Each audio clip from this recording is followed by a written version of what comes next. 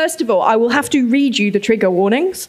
Uh, so there's death, there's dying, there's cancer, there's quite a high amount of metaphoric license, um, which some people I understand in this field may not be comfortable with because it's not strictly science.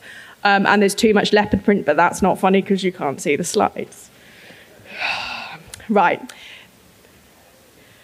I'm just going to go for it without the slides, everybody. Thank you ever so much for joining. I do appreciate it. Um, right. My name is um, Ella. Um, I am an engineer, amongst uh, many other things. I'm not a software engineer, which means I feel quite out of place, to be honest, at times this weekend. I don't know much about LEDs um, or NFTs or anything. I'm one of those boring mechanical engineers. Uh, oh, yay, again, found my people. Cool, there's some thermodynamics coming up, guys. Uh, right, so I'm I'm an engineer, I'm a project manager, I'm a speaker, I'm, I'm all sorts of things. But the thing that I kind of want to talk to you about today is actually something that's very difficult to put on a list because there isn't a particularly great, universally recognized word for. Um, and that's kind of why I asked in my padding about whether um, you listen to Griefcast, because Griefster is the best word that we've found for it so far, and it's still not a great, great word, but I am a Griefster. Um, so when I was 24, my partner uh, died of cancer there was a big picture of him because he really liked being the center of attention even more than I do. So I thought I was going to give him his, his moment of glory, but unfortunately, he will have to wait again. Um, but we met studying uh, engineering. I was a, a master's student, he was doing his PhD. It wasn't love at first sight. This is not a poetic talk in that respect. Um, but we got together and uh, within a couple of months, he was diagnosed with stage three bowel cancer. For those of you that are not in the cancer club, uh, stage three is locally advanced and possibly spread, so the odds were, were fairly slim at that point. Um, we did everything we could. I'm not going to say lost the battle because that's a whole nother talk that I will come back next year and have slides for. Um, he was he was given a ter- terminal diagnosis uh, the day before our, our, second anniversary, and he died uh, within a week. Uh, he was four days away from starting a potentially groundbreaking uh, clinical trial at the Royal Marsden. Big shout out to them. Uh, he would have been patient 001, and maybe things would have been different, but they weren't. Um, funny gif of a disclaimer sign. So everybody's experience of grief and death and trauma is going to be different. So this talk is never intended to be kind of a one size fits all version that is here's some steps I went through and now I'm fine. Um, everybody's everybody's experience is different, and from from what I've understood of kind of grief and, and bereavement is that everybody thinks uh, that everybody's got it better people that have, have lost somebody through illness think it was probably better to have had it over in, a, in an accident and, and vice versa. And I think the truth is there's no hierarchy uh, to, to grief at all. Um, it's a bit like engineering. There isn't a hierarchy, there should be, but there isn't. Um, and uh, we there is there is science that underpins engineering, um, but engineering is really interesting and complex and complicated because it's always different. And I think everybody's death experience is, is very different. And so when I was looking back on losing Craig, um, it became apparent to me that my way of thinking about it actually really relied on engineering, the thing we were both studying. Actually, it had a lot more in common than I thought it did. So I started writing this Engineer's Guide to Grief, and that is what I'm trying to present to you without slides today. Uh, so, one of the first things uh, you're taught as a mechanical engineer uh, is the laws of thermodynamics. Um, hands up if you've done a bit of thermo in your time. Cool. It's not without its controversy. I'm sure somebody's going to uh, have a little bit of a about one of my uh, about one of my explanations. It's not without its controversy and its debate, but um, this is this is for the purpose of metaphors. Um, it, it's what I'm going to use today. So for those of you that haven't been bored through a first year thermodynamics class, um, it's the branch of physical science that, that deals with the relationship between heat and work and energy. It's really fundamental to many branches of physics and chemistry and engineering. Um, and the first law is quite poetic. The first law of this quite fundamental sequence is that energy can neither be created nor destroyed, it only changes form. So the energy in a system can be converted. So when you switch on a light switch, it feels like you're creating energy, but you're not. It's just electrical energy being converted into light. Um, and this just, just proves that in any process, the, the total universe of the energy of the universe is the same. The energy is a, is a closed system. Um, the universe is a closed system. And so this is where my metaphors start to come in using. I'm just going to carry on casually like this. That's all right, don't worry. We're all trying our best here. So there's a very cool gif of a space cat kind of flying through the air looking kind of philosophical. And the point I'm trying to make is that death is less scary when you think that actually we're all just energy and we're all jumbling about. We've always been here forever and we always will be. We're just changing forms. Oh. Okay, we're going to do it like this. Okay, so I'll show that GIF at the end if we can. Um, but yes, I can draw a certain amount of comfort from this idea that we're all just energy, jumbling through, changing forms. Death is actually a lot less scary when you think about it like that. The second law of thermodynamics is that entropy, the, the entropy of the universe tends to a maximum which sounds very poetic. But entropy is the idea of disorder. It's the amount of disorder that's in the universe. So, in thermodynamics, an isolated system is one where heat or matter can't enter or exit uh, a system's boundary. The universe in itself is an isolated system. And its total entropy, that total amount of disorder, it never ever decreases there's an equation, imagine it. this, essentially, so this is just an aside because why not right now? Um, I have for ages been asking my partner in the front row to send me on a stand up comedy course or an improv course. Now I'm doing both right now. So. There's only one HDMI, guys. Okay, basically, in any isolated system, random processes uh, lead to more disorder. And if there is one thing I can tell you about grief, it is disordered. And it really only increases if you stay isolated. So, here is now a gif of Ross from Friends looking distressed in a messy room. He went on a date, there was a messy room. I'm a millennial, it was a very iconic sequence. so, if the second law of thermodynamics is still a bit vague, then it's like having a very messy bedroom, something I was guilty of as a teenager. If you leave it, there's one down here. You can all come and climb down here and look at it. right.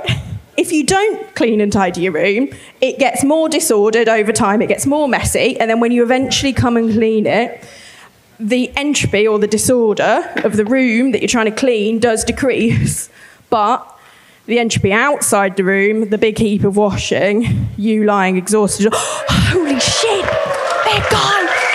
You can read my notes.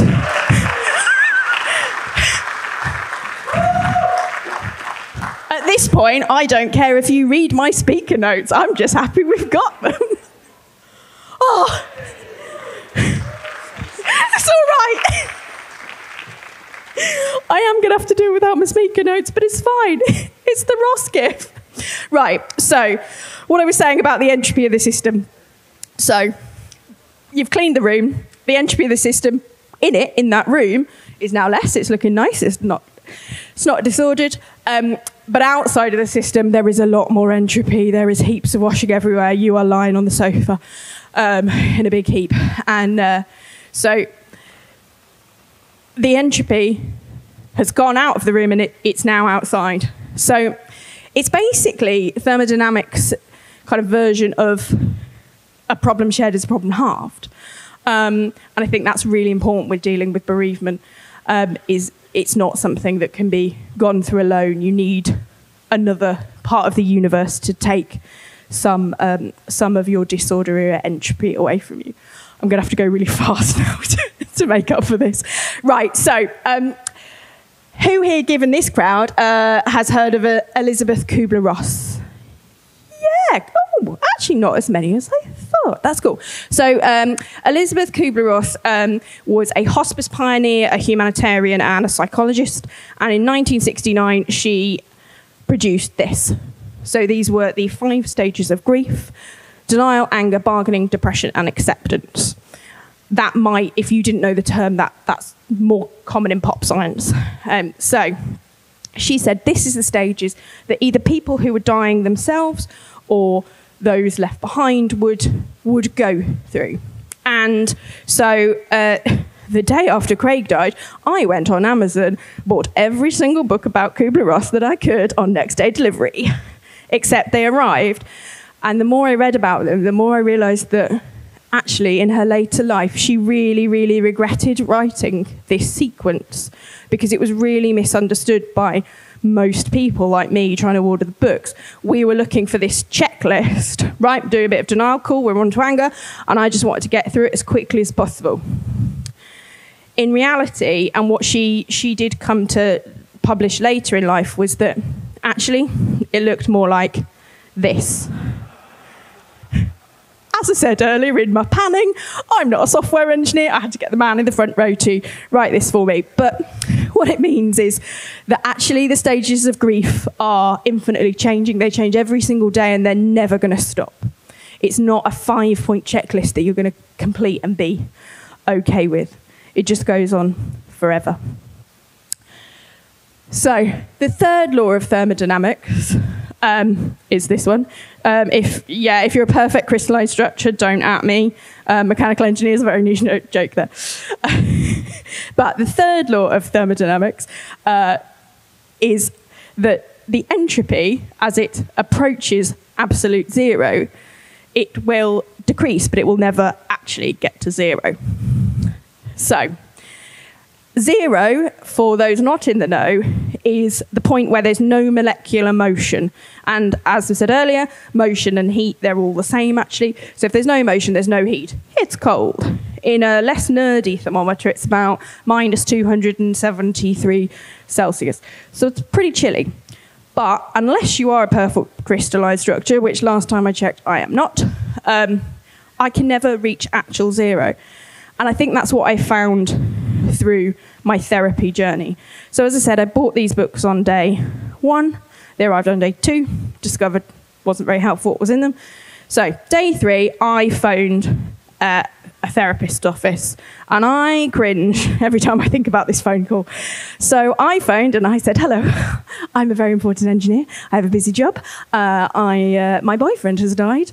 Uh, I need to get over this pretty quick because I cannot be on a transatlantic flight looking after some racing cars and just cry. Racing drivers don't like crying. Uh, and yeah, the lady was so calm and so polite and so caring to me. And she said, That's very nice. Um, I'd love to support you through this challenging time. But unfortunately, uh, it's not just something you can get on with. Uh, we don't usually start seeing people for therapy for, for at least three months because, as, as prepared as you are, in technical terms, it's called anticipatory grief. So if you know someone's going to die, you do start grieving before they die. Um, as, as much as you think you're prepared, you're probably not. You're probably still in shock. I said, no, it's fine. As you said, I'm an engineer. I'm very smart. We're the smartest part of the population. Uh, and I always did my homework, so I know. But honestly, I'm going to ace this. Um, again, anybody that's got a therapist will probably also want to impress the therapist, it's, and that's an infinite loop. Uh, and uh, so, yeah, um, I said, we need to just book that appointment. I'm going to prove you wrong. I didn't prove her wrong. She was exactly right. We started. It was useless for three months. I was up and down. I was doing those five Kubler Ross things every day. My letter S, my entropy, my disorder was off the charts. Um, so I'd really like to apologise to her. Um, she was she was pretty great, but actually therapy was brilliant. Um, if any, if I have one piece of practical advice to, for anybody here who is maybe going through bereavement now, or is is I was going to say thinking about it in the future, but that's not what I meant. really off doing this off the cuff now. um, she um, it, it is to go to therapy. Um, I had a real strange uh, thing about not wanting to go to therapy because it's like a fluffy kind of science, and as an engineer, that wouldn't work for me but it genuinely changed everything. It helped me understand what I was going through, what the people around me was going through, because that's something with grief is that everybody's relationship with that person was different, and therefore how they grieve is different, and you're all in this melting pot together. And it also helped me maybe understand a little bit about maybe what Craig was had had gone through himself.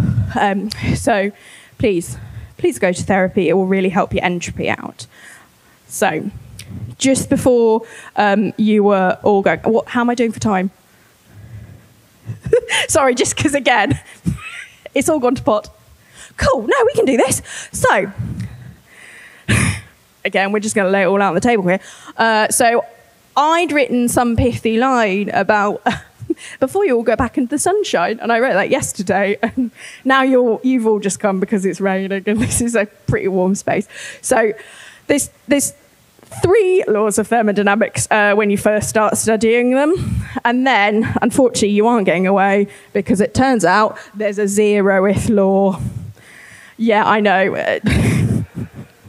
I thought this as well. Zeroth is not a word. Yeah, it's a word. Uh, so uh, you can thank me and this man, James Clerk Maxwell, uh, next time you play Scrabble, because it's a useful word. But there is a zero law of thermodynamics. It's actually more of an observation than a law. But it's so fundamental to the branch of science that they thought, that's great, let's whiz it up the list. Zeroth, most important. Uh, so next time somebody says, you go up first, you can say, yeah, but I'm zeroth. That's great. So the zeroth observation law is that if systems are in thermal equilibrium with each other, and there's a third one, and one of them is in equilibrium with them as well, they're all in equilibrium. So if A equals B, B equals C, C also equals A. Um, when Craig first died, I was 24, um, and I really felt very isolated. All the stories I saw about death were like, oh yes, you know, my my my granddad died. My grandma's alone. You can talk to my grandma, and I'd be like, yeah. So that's very nice. And all the grandmas were very sweet, but losing your husband in your 80s is very different to losing your partner when you're 24. Um, I really struggle with language as well. Um, we weren't married, so I felt I couldn't use the term widow. That felt very loaded. And I honestly fretted for weeks and weeks on end about whether I called him my ex boyfriend, but that didn't work because that made it sound like we'd split up for like a really fliv- frivolous, frivolous thing, and like not that just somebody had stopped breathing. It's quite, it's a bit more than that. I tried late partner. Whoa. Uh, but that sounded like an overrunning um, solicitor. So I just don't, I still don't have the words. So if any uh, people have been through a similar thing have a word for it, please honestly let me know at the end. Um, but now with nearly a decade, well, more than a decade um, in the rearview mirror between that really isolating experience and now, I think conversa- conversations changed a lot. There's a lot more people um, talking about um, grief and death, and I think that's really amazing because actually, if I'm an A, then there's probably some Bs in this audience, and there's probably some Cs, and we're all, actually all equal. Um, and I think we need to work together. We're all equal in this sadness, but we're equal in our courage and our resilience and the strength that comes from these experiences. And I think we need to talk about it more. I think it's it's really important um, because there's such a stigma about talking about death and dying, particularly in the UK. And honestly, I'm quite overwhelmed how many people have come to talk about it because honestly, a lot of the time, and again, anybody that's experienced this as well will probably know it. When you say, "Oh, somebody, oh, they died," they just run away scared because they just don't know what to say to you. So I think we need to have more conversations about it. Which brings me on to my final little origin story, maths joke. uh, so, how this talk came about is a, a really good example of that. So, I do a lot of corporate speaking about um, being a woman in motorsport. Um, and this brought me to the attention of a TEDx um, event. And they gave me an open brief because that's the literal point of TEDx. Uh, problem was they were expecting some like a light fuzzy story about like being touched on the bum by a racing driver and still doing some science.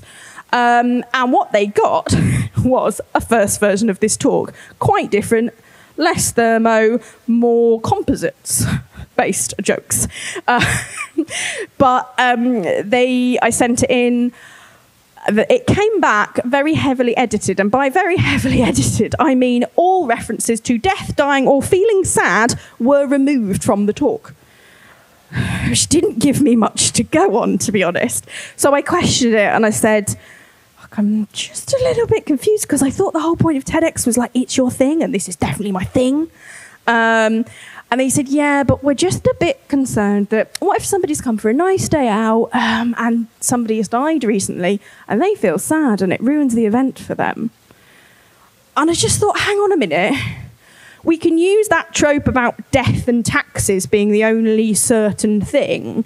I don't want to use it because we all know that Amazon doesn't pay their taxes. So if we if we remove the taxes, death is certain. You know, if I'm an A, there's B's, there's C's. So I could have guaranteed that event organizer that there would be somebody. There would be multiple somebodies in every room who's been through some sort of loss experience. And so to me, I didn't want to do the watered down version where we don't talk about it and we reinforce this. Death is scary, you know, it's awful, and, and teach everybody, treat everybody with kid gloves because um, it doesn't do us any favours. So, my final, uh, this is sorry, this is the most UK possible slide. So if uh, if you're not from the UK, this was an advert for British Telecom in the late 80s, early 90s, uh, and the tagline was "It's good to talk," uh, which sort of brings me on to yeah, my final thing that I feel sums um, all of this um, metaphor and experience up is that we have to talk. We have to talk to support each other. We have to talk more openly and share our stories so people realize that it is going to happen to them and they can be prepared. Because if you talk to each other, if you have a think about what you might want to happen when the inevitable happens, you do people like me, the A's, the B's, and the C's, a really big favor. Because if you don't talk about death, you don't think what you want to happen to yourself or your bits, um, then you're relying on your A's and B's and C's to make some really big decisions when they're actually at their most vulnerable. And that's really hard. So it, if it seems a bit strange to have like a password manager that somebody knows the password for, or do that weird setting on Facebook or Twitter where you can bequeath your account, please go and do it because it does make it really hard um, for, for, the, for the people left behind. Um, also, just please don't be afraid to, to talk to people who've been through a loss. Um, that disorder, that entropy, that chaos can feel a, a, lot, and it can feel very isolating because of this this stigma. Um, so, offer a person to a shoulder to cry on, give them some frozen meals, um, just just to help look after look after them because they need it. Um, so fine, I promise this is the final one. so, um, so I didn't do the TEDx event. Um, I that was that was before the pandemic, so this is about four or five years ago. Um, I then um, went to therapy for more, as my dad would say it, self absorbed millennial purposes. I just go to regular therapy, not bereavement therapy now. Um, and during the pandemic, like everybody, I was just having a bit of an existential crisis about like I was putting a lot of effort into things and other people weren't, and the results weren't what I want them to be. And oh, just I put effort in. Why doesn't the effort come out? Um, and my therapist is very wise, and she said to me, Ella, feelings aren't equations, you can't complete them or solve them. It sounds very obvious and it somewhat undermines some of my talk, but I think it's a really important coda to this piece is that as much as I want to solve these problems, I'm never gonna I'm never gonna find I'm never gonna complete the proof. Um, I'm never gonna find X. And I don't need to. Because actually, if you give I just need the tools which therapy has given me to be able to work with what I've got. And if there's anything about engineers um, that we can do, is it working with tools. Um, so go to therapy, talk, get the tools, and you can uh, incorporate this um, into your life. It wasn't the poetic ending I was aiming for, but given the technical difficulties, I'm just going to uh, let you get on with the lightning talks. Um, so, yes, uh, I, I miss Craig very much. I might have a glory moment in a second, just get his picture up, just so uh, uh, he can have his moment of fame. Um, but yeah, so as much as I now know that I can't um, balance this equation, I'm never going to solve this situation. I can still, thank you, I can still. Uh, honestly, you're, you're, he'd love this. He'd absolutely love this. So, yeah, as, as, much as I now will have these tools, I do still sneakily come back to that first law of thermodynamics and just imagine he's still just energy jumbling through here as I am. So, yeah, thank you for coming to my. Oh, this is just honesty. This was so slick. uh,